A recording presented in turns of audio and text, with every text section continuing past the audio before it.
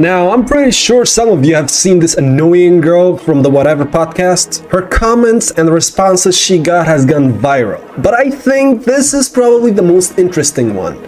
She suddenly starts commenting on Andrew Tate, saying he is short and whatever dumb stuff she come up with at the spot. But her reaction when the guys hit back is absolutely awesome. Isn't Andrew Tate like 5'8"? Oh shit. He's like six three. Really? How Yeah. much his dick down? That's What like the he gives fuck? such Oh short my man energy that like I thought he was like under. six Wait, whoa, whoa, tall. hold on. What, what, what did you just say? It's short man energy. What, what does that mean? Like, Are you hating on kinda short mean. men? Yeah, it was kind of mean. It was like a derogatory stance, I guess you could say. It- Yeah. I'll- you know what? I'll let it slide as long as you're okay with fat girl energy. I'm. Are you okay with fat girl I've energy? done my due diligence in dating a man shorter than me, so I feel like I could say that.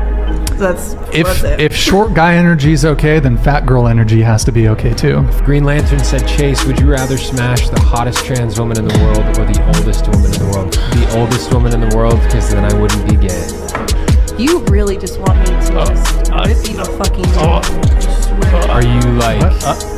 what? Chase, Yeah. how dare you be transphobic? Yes, actually. What the fuck do you mean? Yes, that was Because so if I had sex with a trans woman, I'd be having sex with a biological man. I know Because I'd be say. gay if I had sex That's with a biological gay. man. That's not gay. That's And I don't even care if you're doing this for like whatever, but like shut the fuck up. Why don't you fucking Why don't you make That's me shut the far. fuck up? Because I have an opinion that differs from yours. She's right. I mean, that's really But hateful, she's bro. not. She's not. A trans woman is a biological man. Sue me. It's true. Fuck.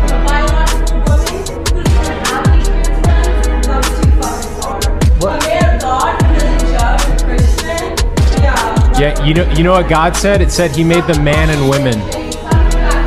I just told you I'm not gay. I'll pass on that. Thanks though. Let's be honest here. Her reaction is what anyone would do when they get called out on their bullshit. If you can't defend your views or lies, you're just going to run. But this is a great example of the double standard some women have. It's okay to belittle, shame, or lie about men, but you can't say anything negative about women or even dare to think it. Guys, hit that like and subscribe so I can get you more of these awesome clips from all over the internet, and I will see you in the next video.